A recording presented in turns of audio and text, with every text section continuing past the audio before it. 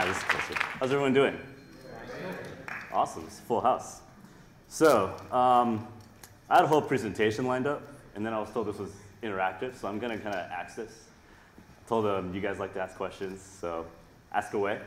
Uh, the title of what I was gonna talk about, and what I'm gonna talk about, is Ampere speed to market, right? How to master velocity and productivity. So what does that mean? That can mean all sorts of things, right? Uh, when, I, when I wrote this down, I was like, what, what do I really mean? Um, so I'm a developer by trade, as Michael mentioned, and I advise and consult a lot of startups, both in my day job at labs, um, but also on the side.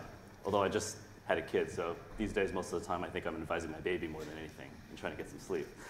Um, but regardless, usually when I have a conversation with a startup about this, it goes something like this. Um, hey, Terry, we don't have a whole lot of time. We, we need to go really fast. We need to go as fast as we can to market with our product, right? We need, how do we build and ship this thing as fast as possible? And my first reaction, which, you know, I work for a bigger company now, I've, I've done startups before, so maybe I'm a little out of touch, maybe not, is, well, why are you in such a rush? right? There's, there's, why are you in such a rush? Um, what, what's, what's causing you to, to feel this pressure? And so I guess that's the first question, because we have a lot of entrepreneurs here, right? Um, what, what are your constraints that are causing you to want to go so fast, right? Want to go as fast as you can? Anybody have any? Yeah. The market itself is pretty fast, so you want to with it. Okay. Anybody else? Competitors in your business, right? Anyone else? Okay, those are two good, two good things. Um, fail fast. fail fast, yes. And the thing that a lot that I'm actually surprised nobody mentioned here, maybe it's not much of an issue anymore, is, is run rate, right? When I was doing startups, um, and when I work with startups, um, usually the startups have a finite run rate. So at some point you run out of money, and you usually want to ship something. You want to ship as many times as possible before you run out of money, if not just um, at least once, right? So conversation goes, Terry, we want to go as fast as possible. Well, Mr. Startup, why? It's for the reasons you, you, all mentioned. Sometimes there's a deadline and a milestone associated with maybe a demo or a trade show or, or something in the market. And, and then there's the second part of that, right, which is, and we're not going as fast as we, we need to be, right, which means we're behind the curve on this. And that's what a lot of startups also tell me. Um, the reason they're asking me about going faster and shipping sooner is because they don't feel like they're doing it fast enough. Uh, so that's another question is, is um, why don't you all feel like you're going fast enough, right? What, what's slowing you down, maybe is the question. Resources. Resources? Okay, that's a good one. And, and why? why? Why why are resources important? Well, like, you know, like me, I'm a single person trying to start a business. I can't. Uh-huh. I possibly do everything in 24 hours. Right. Resources become an issue. Right. Uh-huh.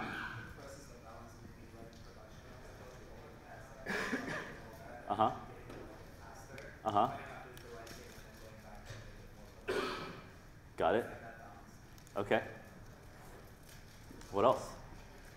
Okay, so you, you two highlighted some good things, and I'm going to actually take a whole step back from that and say that it actually all starts with, ooh, what did I do?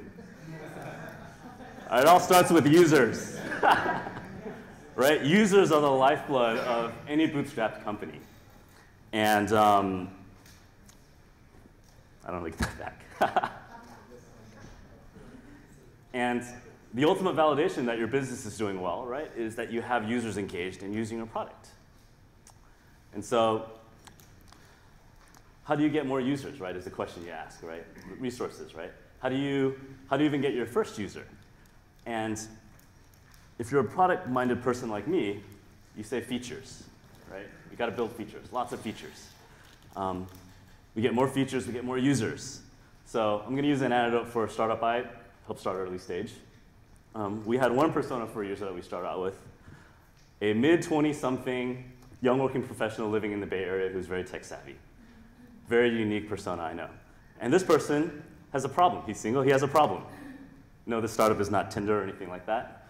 Um, he comes home from work and he's bored out of his mind. He doesn't know what's going on in the city. So, hey, wouldn't it be great to have a place to go to to look at all the events going around your area, right? And currently, this information is distributed amongst a lot of different local sources. It's hard to actually get it. So hey, why don't we build an app that aggregates all of that? That was our idea. So we did what any reasonable startup would do, and we built a pitch deck, right, to get feedback around idea and shop it around. And we started meeting with lots of investors, lots of um, friends and family, really anybody who would listen to us to get feedback on the idea. So we started these series of meetings. The first meeting went, okay, that's great, but you need to social proof this, right? There's a lot of noise in these listings. So, okay, we need more features now, right? We need Facebook integration to add friends. We need accounts, we need them to like the stuff. So we have some sort of stack ranking around what's important and what's not. And that's after the first meeting. Second meeting was a little bit of a downer. It was with a potential investor, and they said, hey, um, bad news, your idea is not so unique after all. We were totally shocked by this, believe it or not. Um, there are like five other startups that are doing this, and two of them are in my portfolio. So you really should differentiate. What if you go outside of the Bay Area? Okay, so let's use the same persona in New York and in LA to do the same thing. Well, SF Guardian isn't going to do somebody in New York very good, so now we need to add a more generic source. So why don't we get events from Twitter, right? People tweet about events all the time. Let's do some natural language, some fancy techie data science stuff, natural language processing, k-means clustering, to get events intelligent out of Twitter. And we can do this anywhere in the world. Now we have three personas. And the next persona um, was random. It's somebody said, well, what about stay-at-home parents? I can resonate with this now. Um, they're taking care of their kids all the time. They're probably not going to go out at night afterwards, unless you're me, maybe. Um, so, so they're not going to be interested in events, but they're interested in news. So, okay, let's get them news. More features, right? And then next, next, next meeting, and we haven't actually built anything at this point, right? We've just been revising our pitch deck like any disciplined entrepreneur does and shopping this around and getting feedback. Somebody was like, well, everybody wants the news, right? So now our persona is everyone. And the Kansas City Star is not going to do everyone any good. So let's add some help, right? Maybe Nextdoor, maybe Patch, which sources local news globally, could help. And now we've got lots of users. Our persona is everybody, and our features are a lot, right? And this is why, going back to your point, right, you want more resources, right? Because you've got a lot of features to build, very little time to do it because you have a lot of features to build, and you want more resources. Can anybody resonate with this at all? okay, so I'm not crazy. Um, how do you all feel about this? Maybe that's a very generic question. Is it overwhelming? Yeah, so what do you do, right? You have to do more. So you have to build these features. So you get your development guy, maybe it's like me. Oops. Oh, and everybody likes photos too. So because the persona is everyone, obviously everyone likes pictures. So we're gonna add pictures. Pictures make everything better. So the developers me, you start one person coding away. Um, they're probably going pretty fast because they're one person, but they can only do one thing at a time. So wouldn't be great to have another developer do two things at a time? Um, so now we're going twice as fast. That's awesome, right? So let's keep going. Let's add two more developers to your team. At some point, you're probably going to reach a funding cap with this, but you could kind of keep going, right? Maybe have a team of six, offer some equity. Maybe you meet another startup that's a kindred spirit and like-minded. So now you have 10 developers, right? And your original grab bag of features for every user on the planet, actually really the continental US from what I, what I just said, um, is now going to take a tenth of the time, right? So if originally you thought this was going to take eight months to build, now it takes a tenth. Now it's really only like three weeks. What's wrong with this picture? It doesn't really work like this, right? So I was going to tell you that what happened was great. With my startup, this is exactly what happened. Three weeks later, you know, we shipped, a million users came online, day two, and then we IPO'd and lived happily ever after in overpriced housing in the Bay Area. The end. um, no, not true. So why doesn't this work? What do you all think? Communication. Communication. Yep. What else? The mythical Man-Month, yes. The mythical Man-Month, which is indeed mythical, right?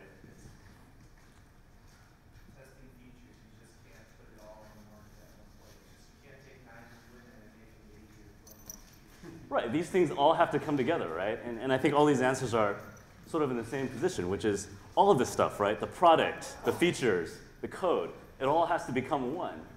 And that's actually really, really hard. Right? I think over time, I feel like gotten pretty good at estimating how long it'll take to get through any one of these individual streams. historically, I'm dead wrong usually about how long that question mark piece takes. And, and it's almost impossible in my experience to predict. It's, and with the startups I, I talk to, it's the same thing. It's, I think maybe I give it two, three weeks. Sometimes it takes two to three or six to eight months, sometimes over a year. It's impossible to predict. So going back to the communication point, right? That's an important point. As you grow your team, um, you start with one person. They can go pretty fast. They don't have to talk to anybody.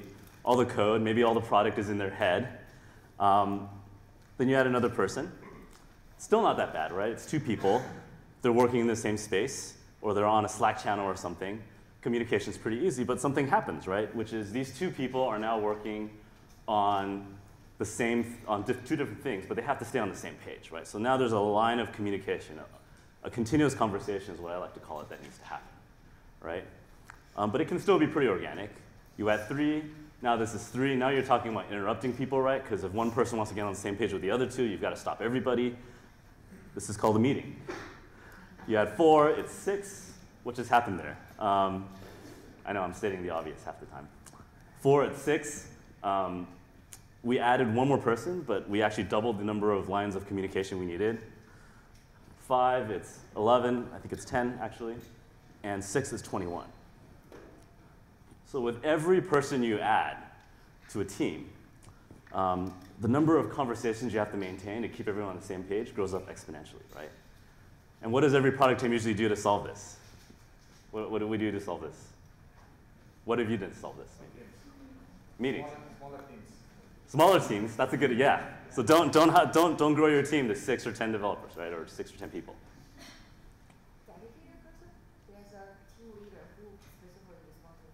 Yep, so, so we've done that, yep. So I have a little story about that actually. So another startup I was a part of, I started as that one developer um, who was writing code in Android for a startup. And I wasn't going fast enough because within a few days they threw on somebody else. And at some point my team got to be as big as 20. And I think I was literally in meetings, probably, I was coding maybe less than 5% of the time. Um, I was literally in meetings probably for like 50, I'm not even exaggerating, something like 50 or 60 hours a week. And what's interesting is, in those meetings, I would always get asked the same questions by, this, by the same stakeholders, right? How long is it going to take to ship this feature? Well, it takes six months. Why does it take so long? Because stuff takes time to build, and we have a big team that has to integrate. There's that big question mark. I'm not going to tell you it takes three weeks, because I've learned that lesson. It doesn't work. Okay, and then the next, the next question is always my favorite, um, which some people can relate to, some people can't, which is, if I could give you 40 outsourced developers tomorrow in some foreign country, could you do it in 1 40th of the time? The answer is no, right? And all my meetings, I think for a year, were talking to different people, asking the same question in different ways because they couldn't take no for an answer, right? It's, it's, well, what if it's a different foreign country? Or, or what if it's 35 developers? And, and, how many developers can it really be? All, all this time wasted just trying to basically cut corners and, inch ship faster. Um, the funny thing is, half the time it was actually the same person in the same day in a different meeting asking the same questions rephrased differently. My CEO. That's another story. so this doesn't work. It doesn't work like that. So there's a theme here, right? Which is to go faster, what have we been doing? We've been trying to do more, right? We're trying to get more users. We're trying to add more features. We're, we now don't have a big enough team to support these features, to your point, right? Don't have such a big team. But we, need to, we, we feel like we need to build a bigger team to do that. And when that doesn't work and slows down, the first question we get asked from the business side is, what if we made your team even bigger than it is now? That'll make it even faster, right? And it's this vicious cycle. And, and so Going faster is not so much, I think, about actually going faster, because I think if nothing's in your way, it's actually pretty easy to go fast. Um, it's about all the things that slow you down and all the complexities that come with doing more, actually. So, what if we try something different? What if we try doing less instead? All right, so let's take back this example, right? We've got the six, the six people. I, I scale it down to fit on the slide uh, six conversations. Okay, so let's do less. Let's have three. But you know, we don't want to fire half our team overnight, right? That wouldn't be very nice. So maybe we would do it anyways, I don't know. So why don't we, if they're developers, right? Why don't we pair them up? Two developers to one computer. Now we have three streams, right? We're doing half as much. We're definitely doing less. Not really getting out anything out of it yet, right? Um, this is actually a, a practice called pair programming, which is, I'm going to call it either legendary or infamous, depending on your view of this. Um, it's, it's, it's part of some very specific flavors of Agile, like extreme programming. So let's do this. And then let's introduce one other thing. We have three streams now, right, that we have to integrate at the end of the day, based on our previous dialogue. Let's rotate people every day. So one person hangs on to a feature, and the next person rotates. So if you have a team of this size, every three days, if you have a feature greater than three days, the whole team is touching that work. So because you're doing that now, you only really need to maintain one stream of development. And if you have one stream like this, you can really ship at any time, right? Because it's just one line of work. So this is kind of interesting, right? We're doing less. That got us down from 21, like six streams of development down to three, so we're doing half as much. But really, when we only do three, we only really have to maintain one, one stream if we do something like pairing, for example. So the conversations, it's the same thing. Now you only really have three conversations. So what have we found with this? So doing less takes a lot of discipline. You know, it's radical. It's definitely not a fit for everybody. Um, pairing is, is one idea of, of doing less. A lot of my friends who are developers didn't get into development because they wanted to sit and talk all day, right? They're, they're introverted, a lot of them are, not all of them. Um, they'd rather just go heads down and build. But our meetings get reduced to two to three hours a week. And devs spend more time deving, developing. Yes? You still rotate. You rotate half that pair, right? So we. Well, it's two people are working on one thing, right? Yes. It is because one person continues working on the feature. Half of the pair stays, yeah. Yeah. Uh huh. We do it every day. Every day. By default, usually. I, I've seen it done every day. Sometimes I've done it twice a day, to be honest. Go ahead. Good question. Um, you reduce the time to manage the team, but Uh-huh. double the cost because now you have two people working on three months. Exactly. And that's part of the trade off, right? Is you lose, we're still only doing half the things, right? Is, is your point. And we've doubled, well, we're doing, we're, we're either doing the same things and doubling the cost or, or doing half the things, right? So, so you're totally right. So, so what about that, right? We've got, we, we're more predictable. That's the benefit, right? We don't have that giant question mark anymore that we have no idea how long it takes. I would actually argue that that's much better um, than being half as productive and having that giant question mark. Because typically, that giant question mark around integration, in my experience, takes way longer than double the cost. Um, it's oftentimes a factor of 10. Does that require every member actually like a full stack because it can work on different things? Not necessarily, but what it does mean is if you keep doing that, every member will naturally become full stack, right? Because if you have somebody who knows one area and somebody who knows another, it all sort of starts to blend.